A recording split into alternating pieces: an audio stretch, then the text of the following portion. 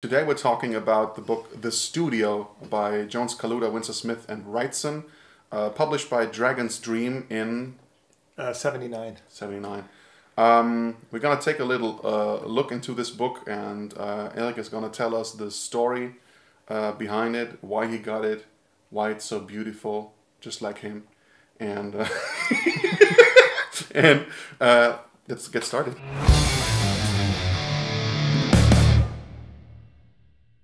I'm just gonna defile it with my fingers. Oh my god. Yes, Yeah, um, there you go. well, as a, as a starting out artist, I was, of course, uh, really drawn to the works of uh, Bernie Wrightson and actually more Mike Kaluta back then. And I saw this book at a friend of mine's house. Uh, he was actually selling books. And he told me that it's impossible to get it anywhere. And we're talking like early 90s, pretty much. Uh, I mean, back then it was only like maybe 15 years old. Yeah, so as a as an aspiring artist and building my first collection, I saw this at a, at a friend's house. I was totally blown away, and not only by the beautiful artwork because it just has you know a collection of the greatest pieces by by Jones, Kaluta, Wrightson, uh, and Barry Windsor Smith. But it was impossible to get it. Like I would look at comic book conventions, and nobody actually you know had a copy of it. Nobody would sell one. So. Um, I actually offered somebody who had it uh, 300 marks back then, which is like 150 euros today. Uh, so a huge amount of money for a book like that because I just wanted it so bad. Um, and never forget, I mean, those, those were the days where there was no uh, no googling images or, or anything like that. If you wanted to research artists you had to go to the library or the bookstore try to get stuff and everything that was out of print was impossible to get. So that was kind of the reason why i started um, buying lots of art books because it was the only way to, to see the artwork in a in a decent manner.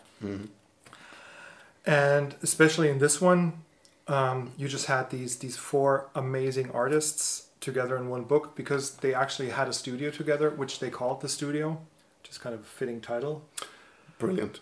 Um, and it was, as far as I recall, in New York, they rented a like a loft, which was in terrible condition, and they just you know renovated it, moved in, and just you know worked the place and started doing their you know creating their artwork there, and they're all spread over you know the comic books industry, book cover illustration, uh, that kind of thing, um, and their styles are so individual and yet from a quality perspective they're so close to one another. Uh, it's just it's just a great combination, and nothing like that happened ever since. There were a few like smaller artist groups that developed in New York, uh, especially people that went to uh, Pratt University to study illustration and art. There was a couple of artists that emerged from the same kind of time frame, but something like you know the studio with Wrightson, Jones, Kaluta, and Smith just never happened again. And I kind of like to think that they um, they motivated each other. There's a, a beautiful documentary film on uh, Jeffrey Jones, Jeffrey Catherine Jones, which is called uh, Better Things. I can really recommend that. Try to get a hold of that. The quality seems really cool. I mean, it's it's it's a, it's a stitched book and it's soft cover still. Um, still uh, very much focused on the art. There's no, um, as far as I can tell, like like overdoing and overplaying uh, the entire design aspect. Um, it's uh, very much framed. Uh, it's very much a, fra- a framing for all the artwork. Um, I'm not sure why they took this color here all the time. There must be a really good reason. Ah, this is more of my liking. um, you say something like this hasn't happened uh, since then. So the guys were friends before. Yes. Um, and As far as I know. you would say also that they probably uh, worked a big part together and also learned from each other. I Yes. guess so, right? I- I'm, I'm pretty sure. Yeah. Um, I, I did read more into the topic uh, back then. I probably forgot most of it, but it, they were friends as far as I know. They worked together. Um, I know that uh, Jeffrey Catherine Jones worked as a, a teacher at Pratt uh, Pratt University or Pratt College, uh, the art school. Um, and um, th- there's one of these things in this whole industry back then, and I still think this exists today. Um, George Pratt told me that once. He said, We always help the competition. So it's not like they're competitors in any way or form, is they work together. So they help each other. They would uh, model for each other. They would, you know, share models uh, for paintings. They would share mm. um, uh, probably their, their working materials. So you know, it's it's like a like a collective in a way, working together. Mm. Um, and I could imagine that working really well. I've I've seen collectives like that before. I know that uh, the American comic artist um, Jim Lee moved to Italy, where he shared a studio with Giuseppe Camuncoli and some other artists, and they just you know just basically shared everything, and that, Mm. that worked really well. And they had a, a beautiful studio in Reggio d'Emilia. So, I think this this is a really um, like the synergy that develops there is probably quite a booster. Wow. Yeah. Um, sounds like it. And of course, I mean, you you, you see the influences, you see the styles. There's uh, the Kaluta artwork is very Art Deco Yeah. uh, oriented.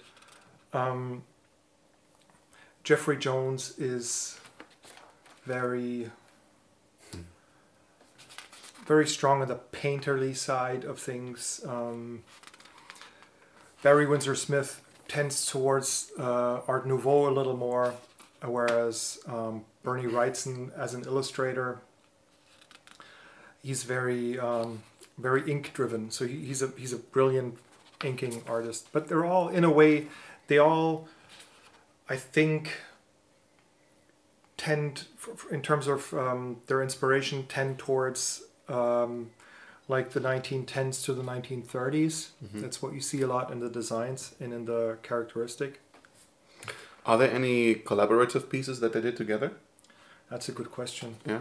I would assume so, but I don't know any out, out of uh, the top of my head. It would be like pretty crazy, like if you think about a, a piece where all four have worked together on. That Yeah. would, would be interesting. If you know anything about this, anyone who's watching this, please let us know because Oh, yeah. that's Write super that down in the comments. Please, please. Um, what about the content? Like the, the text, I didn't start reading, uh, obviously, because we were flipping through the art. But there's a lot of text in here. Um, what about that?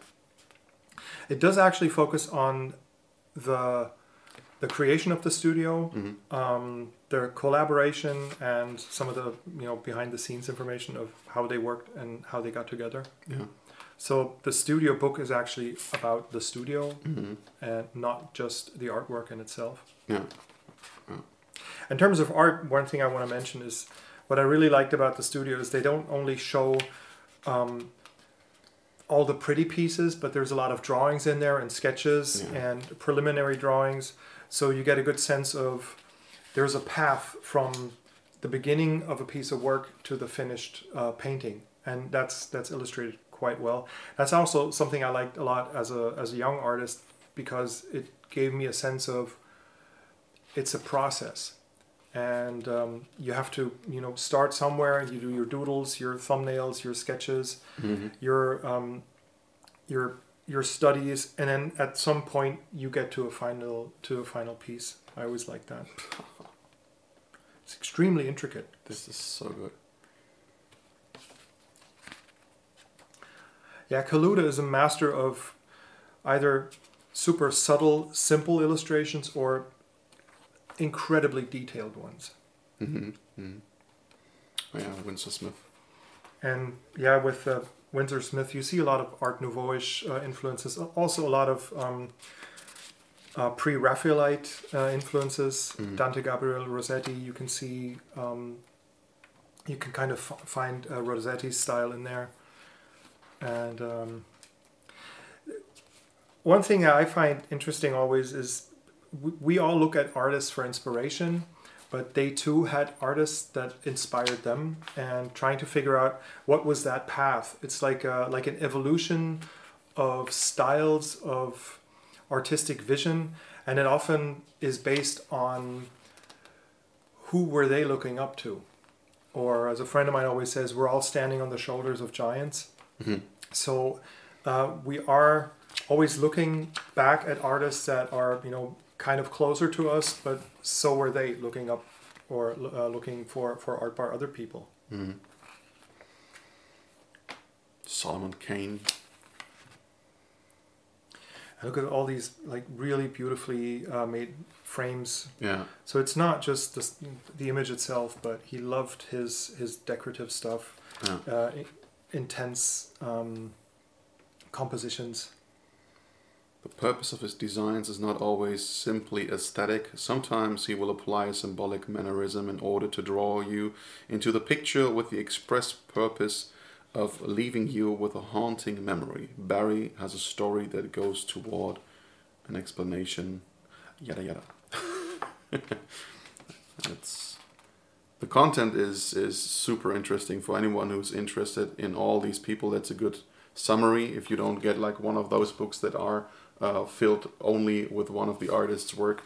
Um, do you know anything about if it's still available somewhere or has it been reprinted?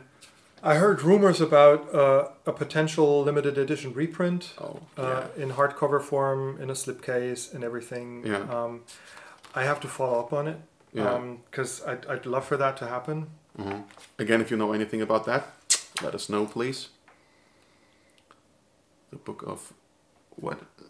Samothrace? The thing is, I have so many books, I can't really, I don't read them all the time. So it's been Yeah. years since I read this one. Um, and you can't always follow up on everything. Mhm. But of course, over time, you, you hear something. Yeah, that's, that's a very beautiful piece. Amazing.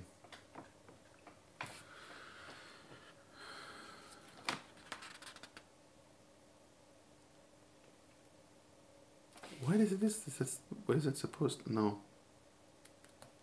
Universe with a sigma? Is this supposed to be Greek? World? I'm afraid, I'm This is, afraid it is. this is supposed to be. They they actually. They wrote English words with Greek letters. Really? As you saw in this other book where they where they faked German.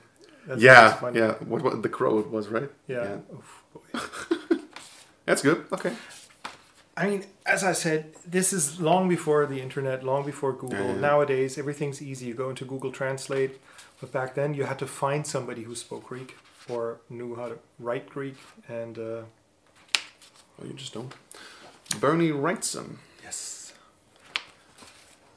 that guy. He makes the dead looking good. yeah, Wrightson recently uh, made headlines because one of his pieces, one of his ink uh, pieces from Oh, the yeah. Frankenstein book, Yeah, yeah. uh, was actually sold. sold for way over a million dollars. So we're now Deserved. we're now at a point where comic book artists um, or comic book art actually gets those prices in auctions, Yeah. which I find pretty cool Because, because because it's art. because it's art. and this this particular piece is insane. It's so detailed.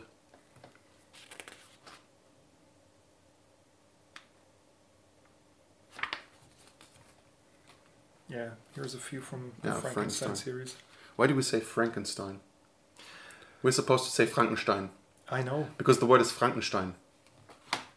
but we also say Nike, and we should say Nike. Nikki, actually, if we go Greek. Nike. No, it's okay. Illustration for Frankenstein. And this stuff is from 1977, so we're talking old. It's insane. And for, I mean, there's uh, many editions of it, but this is the book. Hmm. Every artist should have this book. Is it still for sale? Do you know that? Um, it's available in um, in different formats. I think uh, I've I've seen it before. Um, I don't know if this is first print. I, Oh, I doubt wow. it. This is wrongly cut. Yeah, yeah. I mean, Introduction by Stephen King. Marvel Illustrated novel. That's so. So Marvel is probably still producing this, right? I don't know if they still have the rights to it, Disney. I hope you do. but I'm pretty sure this is. You can kind of still get Uh, this. this one is. Everybody knows this one, right? That's just. Actually, the print quality of this book, I kind of is kind of good, because um, the the ink work it's a little pale, Yeah. but it's really sharp. So um, I think I sadly have to disagree because there's a lot of mismatching in the lines here, and uh, it's a soft cover, and it's glued, and uh, I have issues with that. See that? oh yeah, I know what you mean. Yeah. So you have this not being aligned, being wrongly cut. They have this different space, but it's probably cheap production. I hope there is one that is a better production. Man, this is just insane. Yes. Yeah, I want to post with that. Anyway, let's keep going. What's this? Bad. Wrightson did a lot of horror illustrations uh, Mhm. in his early days, so a lot of that stuff is in there. That doesn't look like horror. There's a zombie. so- Okay, fair enough. I was just focused on these colors. The zombie and the seven seven dwarfs. Mm-hmm. Oh yeah. Okay. And of course, in the 70s, there was a lot of uh, erotic illustrations. You know, the the upcoming of uh, adult magazines that were not Playboy. So Mhm. there was a lot of stuff to be done there. This is a, again something I found. I back then I still find it kind of uh, cool. Mhm. That there's a pencil piece. There's the I, I assume uh, ink gouache piece. Mm. Just so they they used all this space to just show you a step by step of how this painting came to be, which is unusual, but uh, I really like that idea. Mm. So it's kind of like a making of. Super good. Yeah.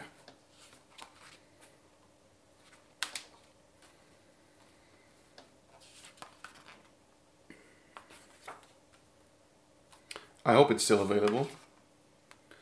Maybe even overworked. Maybe it can be published as it is, but maybe it can be put in a, I don't know, more modern approach of this. But um, this is an awesome book.